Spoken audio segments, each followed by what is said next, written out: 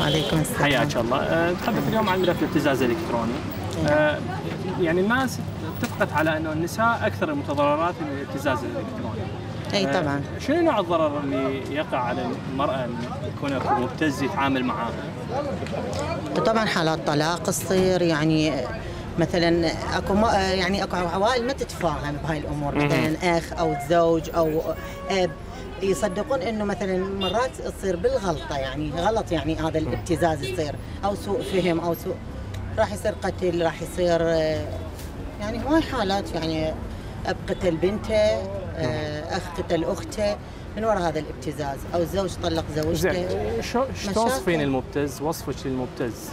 إنسان جاهل ما عنده ثقافة يعني ما عنده غيره ما عنده عرض يعني غير يعني مثل ما هو يعني مثل ما عنده عرض يعني ما يخاف على عرضه يبتز العالم. زين.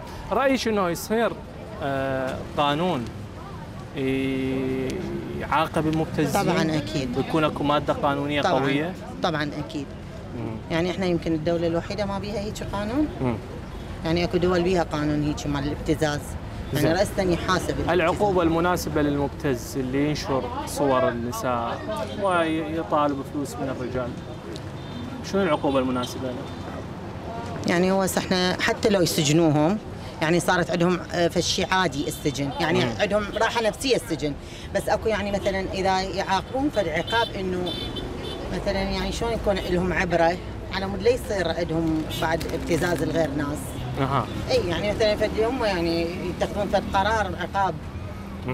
اللي هم زين. يعني آه، نصيحتك للنساء قضية إنه كيفية التعامل مع الابتزاز والمبتز إنه يعني، تسلم أمرها وإلى وخلاص لا طبعا؟ أكيد لو تلجأ للقانون لو تخفي لا، الأمر على أكيد. أهلها لو تقول لهم شنو رأيك؟ لا لا أكيد طبعا إذا هي ما عندها شيء تكون واضحة ويا أهلها وتسولف أحسن يعني ما يعرفون بطريقة غير مباشرة ويجون يحاسبوها. زين إحنا يعني هم صارت بينا هاي الحالات. وما صارت يعني قبل كم سنة صار إنه شخص دخل على الفيس مالتنا وما أعرف يعني بحالة ما أعرف شلون يعني ثغرة معينة. إي ما أعرف شلون آه يعني دخل للفيس وأخذ صور من الفيس وهاي وظل يبتز بينا. زين؟ شلون تعاملت وياه؟ أنا تعاملت آه، قلت لأخوتي. إي وردنا مقابلة يعني نوعده بمكان بس هو كان ما أعرف مراقب يعني مراقبنا من جميع الجهات. أها. زين؟ إي والله بس بذاك الوقت يعني قلت له شنو يعني أريد أعرف شنو النهاية؟ عشر ما يعني فد ما أعرف شنو يعني. طلبه؟ طلبه أول شيء يعني مثلا حشاك إني اشوفك ها زين علاقة. اي اي فرفضت.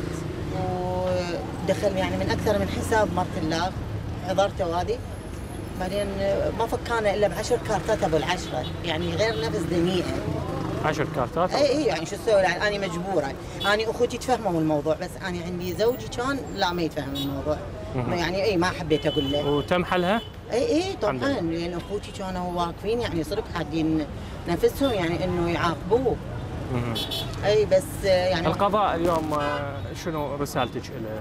شنو اللي المفروض يعني؟ يشوفون حل لهذا الموضوع. إي يعني غير هم يعني مسؤولين. نزيد من إمكانياتنا التقنية نزيد طبعاً. من من تطورنا التقني المفروض. إي طبعا أكيد. مهم. يعني بالأخص إحنا بالعراق يعني ما شاء الله علينا. إحنا يحتاج لنا تطور. يعني مواقع ال- التواصل فضاء مفتوح مو عندنا بالعراق ماكو رقابة. إي أكيد. وثقافة يعني ت- تابعة ثقافة للثقافة. مجتمعية طبعاً. اي ثقافة مجتمعية ماكو. شكرا جزيلا ست حياك الله. الله. يوفقك